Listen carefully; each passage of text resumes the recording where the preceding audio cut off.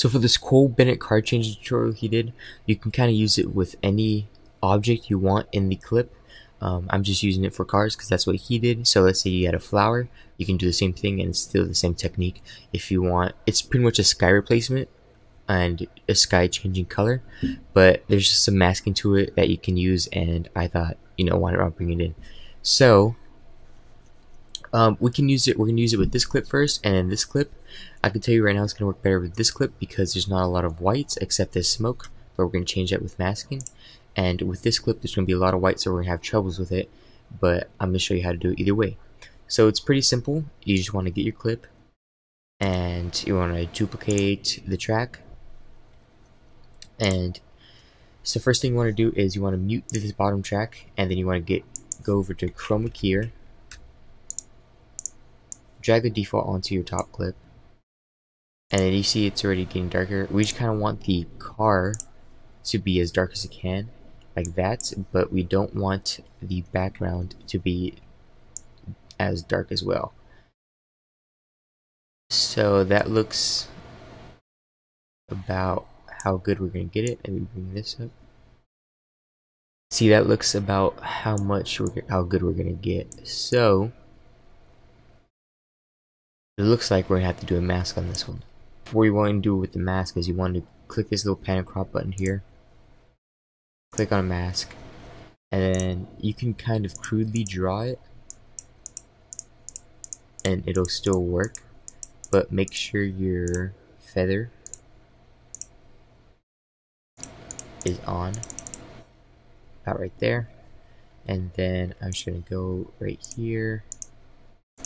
There you go, that's fine. Voice track.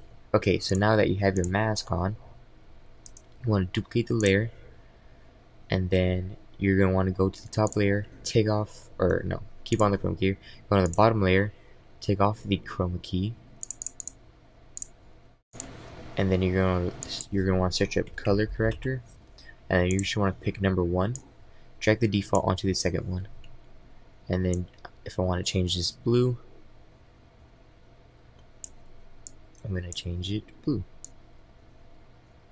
About right there. And then I want to unmute the bottom layer and then I'll have a blue car. Now, you can see all this garbage here. That's just because my mask isn't very well done. So, to do that is I go to the bottom layer, the one with the color key on it, the chroma key on it, and change that mask. Here, I'm just to bring this Try bringing this mask to a feather. Hold on. The type in. Have that. Bring this in. And then I'm going to go to the top layer, bring that feather in. There you go, now you have a blue car that's not all garbage looking. And then say if you wanted to change the colors, it's all about keyframing. So let's go, you want to rotate there. Actually, no, where's my, oh, you want to go to your second clip. That's where the color is. Go to your color corrector. And then since you changed the second one mostly, um, we're just going to have to keyframe that. So click this little keyframe button right here. Let's just go to the middle. Let's make it green. Wait, that's the wrong one. Go to the middle, make it green. Go to the end, and make it purple. Right. So we'll have... Let me change this to that. So I have blue, green, purple. It's all pixelated because I went, you know, draft auto. Now you see all this like white lines. That's because I just didn't really do a good mask you can do a good mask and all and still get the same effect. So or it doesn't have to be that good of a mask but it has to be decent enough um, because we're doing chroma key on the top clip anyway so it you can kind of be outward. See I have my mask outward here but it's not really getting it. But if I change it like that move this to over here that's a blue car and then change this, this to out here. Now it's kind of hard with white cars too, especially because you know the road is white and a lot of things in the in like the video are going to be white. Um, so I like to do it with you know colored cars, like red, because it's way easier because you don't have a lot of red things in the world. And here, let me bring this out, and bring this out, and like that. And that's a red car. Even though there's a little bit right here, but no one's gonna notice if it's fast.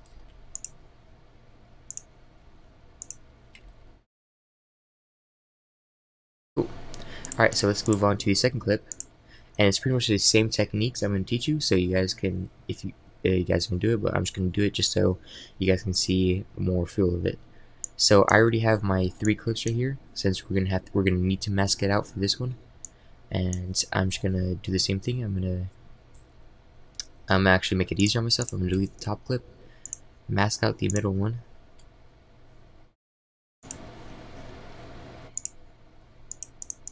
right? And I'm gonna want to get the wheel in there. Fast mask.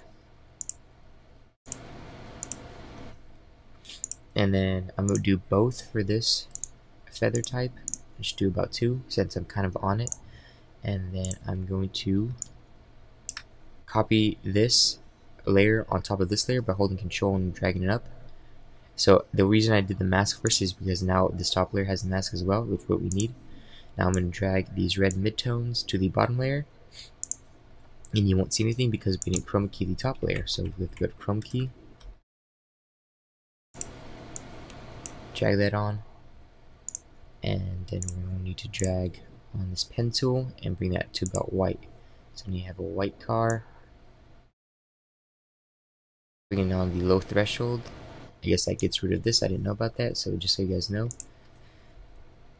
And now I'm going to mess with these this mask right here so it doesn't look garbage.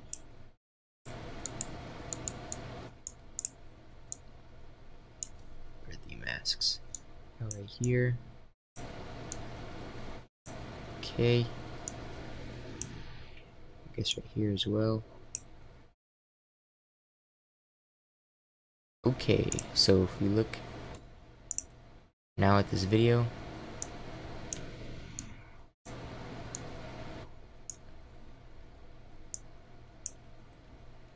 can see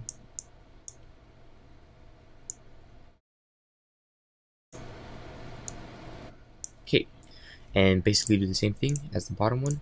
We're gonna go to the, oh no, sorry, not the bottom one. Uh, we're gonna go to the middle one, and then change the color corrector, keyframe it. I want it to be, you know, let's say this blue. A little bit too blue, but about right there. And then yellow, a little bit too yellow, so about right there. So if you look at this clip right now, it go red, green, blue. And that's how you change a car in Sony Vegas, the color of a car in Sony Vegas. Make sure you have these bottom clips. Uh, I didn't really explain them why you need these bottom clips. Is because if you don't have them, you know, you won't have the rest of the video. That's pretty much how you do it. Thanks for watching the tutorial. Sorry if you can hear anything in the background. I just got a new setup and I'm still figuring out all these settings and how to get all the best audio and stuff. Um, I might change it in post, so if you didn't hear that much, you know, well, good thing. Uh, subscribe and stuff and whatnot. More tutorials coming later.